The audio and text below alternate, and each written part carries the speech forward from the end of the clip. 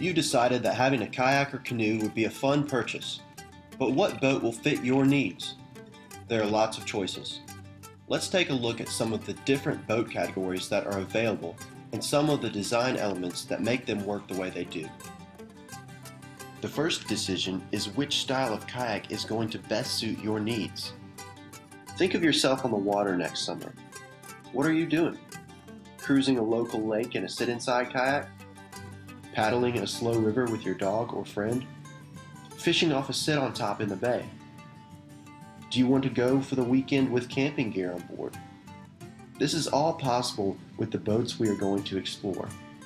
First off, let's define the boat categories and see how they relate to different uses. Let's start with the differences between a kayak and a canoe. The biggest difference is kayaks are paddled from a seated position with the seat very close to the floor of the boat using a double-bladed paddle. Canoes are paddled sitting on a seat mounted quite a bit higher or kneeling with a single-bladed paddle. Let's look at kayaks first. Some kayaks have a deck, which we'll call a sit-inside kayak, or sink for short and some have a deck you sit on, which we'll call a sit on top, or SOT for short. Sit-in kayaks are more protected from the elements and sleeker than a sit-on-top and better for covering long distances. Sit-on-tops are easy to board or depart from. Since they have no interior cockpit, there is no way for water to fill the boat. Water drains away through the scupper holes in the deck which is good for rough conditions or paddling through surf. A canoe is open and roomy compared to a kayak. They're great because everything is right there in the boat with you. They're fairly stable and can be paddled solo or tandem, depending on the model. There is room for a dog and lots of gear with space to move around. The sitting position is comfortable and fairly easy to board and depart from. Both kayaks and canoes can be further categorized into three different styles of paddling whitewater, recreational, and touring. Whitewater is highly specialized, so we'll skip that in this presentation. Recreational style, or rec boats for short, are more open, stable, and user-friendly. They're good for people looking to get on calm stretches of slow-moving rivers, lakes, and bays with a minimum amount of chop or roughness.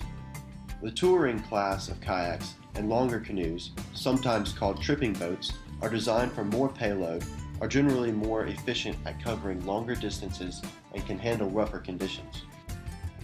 Let's look at some design elements and performance characteristics of both kayaks and canoes.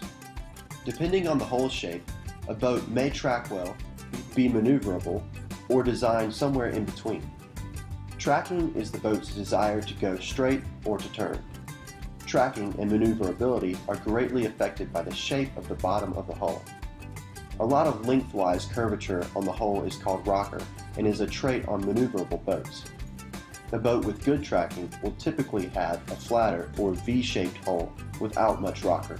Putting the boat on edge will make it easier to turn. Initial stability is the stability you feel when the boat is flat and has an even keel. The wider and flatter the bottom, the more initial stability. Secondary stability is recognized when the boat is leaning on its side or edge. Boats with good secondary stability usually have more flare or V-shaped sides. Speed and glide is the boat's efficiency moving on the water. Speed and glide are affected by hull shape and length.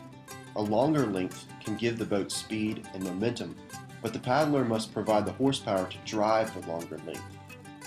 Longer boats have more surface area because of their longer length. Wider boats also have more wetted surface area, which may slow them down. Greater surface area means greater surface friction. Longer boats are harder to maneuver in tight spaces. Payload is the boat's maximum weight capacity. Longer boats are more efficient at hauling loads. The rudder is a mechanical tracking device at the stern of the boat that is foot activated and can aid in steering and tracking. These are not usually found on recreational models.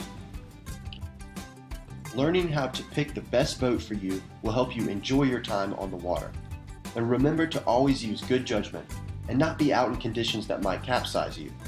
Knowing your local waterway and possible dangers that exist is key to good safety on the water.